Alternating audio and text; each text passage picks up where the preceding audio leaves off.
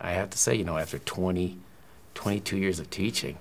I almost feel like I'm a completely new reading teacher. I worked with my students on the whole language approach and I helped them to jump over the hurdles, no matter how hard I had to push them to get over those hurdles, when in reality, I could have moved those hurdles right out of the way for them by doing an explicit, systematic, sequential approach. Taking those classes is not going to help you as a teacher